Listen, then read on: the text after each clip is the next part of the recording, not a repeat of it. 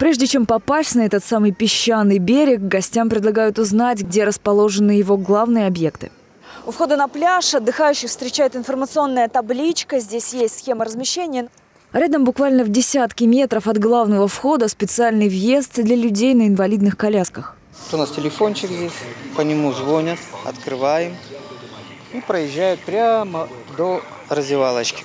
Это у нас раздевалка для маломобильных граждан. Как видим, здесь достаточно чисто. Есть крючки, есть поручни, есть даже сиденья. И размеры подобраны специально для того, чтобы человеку на коляске было удобно здесь находиться. Рядом обычные раздевалки, и их достаточно много. Переодевшись, самое время занять шезлонг. Один под тентом стоит 200 рублей в сутки, под зонтиком немного дороже. На весь день комплект э, зонтик и два лежака 600 рублей. С 8 до 8. После оплаты выдают чек. Теперь можно идти купаться. Вода в море чистая, как и песок на пляже. Через каждые 30 метров стоят урны. Затем, чтобы здесь не было мусора и водорослей, следят каждый день. Ребята выходят, кучкуют граблями, потом мы все это собираем в прицепы, вывозим. Если хороший шторм и направление бывает и много, бывает мы там по два, по три прицепа вывозим легковых. Ну а от бытового мусора, который остается от наших культурных отдыхающих, мы эту уборку эту делаем ежедневно, даже не ежедневно, ежеутрешно. Пляж песчаный, заходить в море удобно. В дополнение к этому для маломобильных граждан в воде установили пандус, а зону купания ограничили буйками, как, собственно, и участок для купания детей. За безопасностью с двух вышек следят четверо спасателей. Еще один наблюдает с берега. На пляже есть две лодки, которые каждое утро спасатели выносят на берег, чтобы в случае чрезвычайной ситуации прийти на помощь вовремя.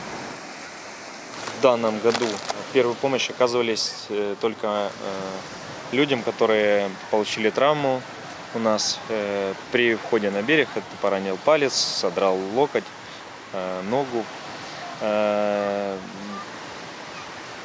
Помощи терпящим бедственно людям на воде еще не было.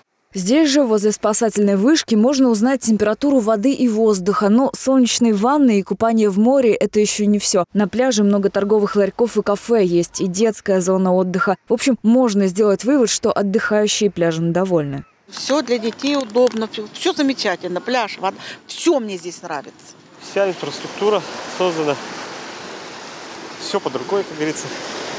Ну, негативных нет впечатлений, только позитивные. Пляж ухоженный, убирают бумаги, все. Медуз даже вылавливают.